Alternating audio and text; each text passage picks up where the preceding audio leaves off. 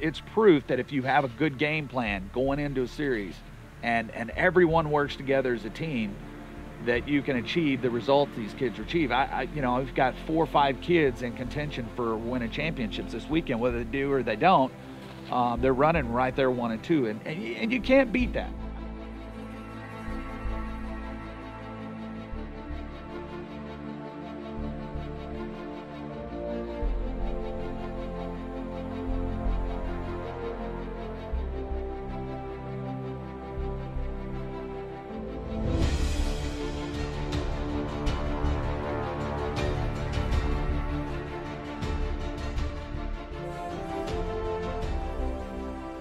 You'd have told me five years ago this is where I'd be,